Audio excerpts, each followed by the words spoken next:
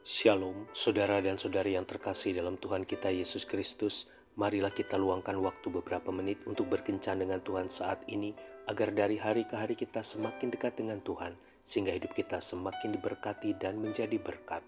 Kencan dengan Tuhan, Minggu 10 Maret 2024. Bacaan dari Injil Lukas bab 24 ayat 16 tetapi ada sesuatu yang menghalangi mata mereka sehingga mereka tidak dapat mengenal Dia. Demikianlah sabda Tuhan, terpujilah Kristus. Saudara dan saudari yang terkasih dalam Tuhan kita Yesus Kristus, ada sebuah kisah menarik dalam Injil Lukas bab 24 ayat 13 sampai dengan 35 ketika Tuhan Yesus menampakkan diri di jalan ke Emmaus. Suatu hari dua murid Yesus sedang berjalan menuju sebuah kampung. Mereka sibuk membahas apa yang sedang terjadi setelah wafatnya Yesus di kayu salib. Dalam perjalanan tersebut, tiba-tiba Tuhan Yesus datang mendekati mereka, lalu berjalan bersama-sama dengan mereka, namun mereka tidak mengenal Dia. Kalau dipikir dengan logika sederhana, bagaimana mungkin kedua murid itu tidak mengenal Tuhan Yesus?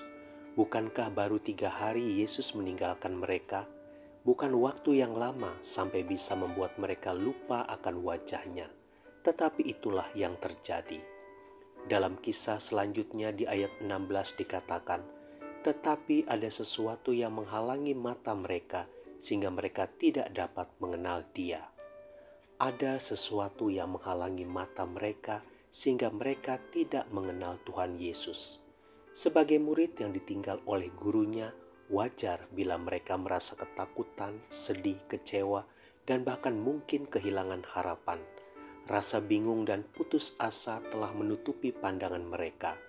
Mata mereka seolah tertutup, tidak mengenali Tuhan Yesus, meski Dia berada tepat bersama mereka. Saudara dan saudari yang terkasih dalam Tuhan kita Yesus Kristus, masalah dapat menghalangi kita untuk memandang Tuhan. Tuhan menjadi seolah-olah hilang, tidak terlihat. Jarak juga dapat mengubah pikiran kita tentang Tuhan. Jika kita jauh dari Tuhan, Dia tampak kecil.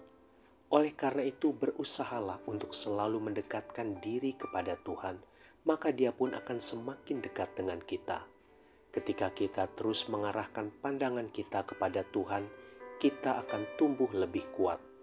Memang Tuhan tidak pernah jauh, kitalah yang berubah setia. Tuhan selalu mengarahkan pandangannya kepada kita, anak-anaknya. Tuhan Yesus memberkati. Marilah kita berdoa dalam nama Bapa dan Putra dan Roh Kudus. Amin. Tuhan Yesus, ketika beban berat datang melanda hidupku, buka mataku untuk selalu bisa memandangmu.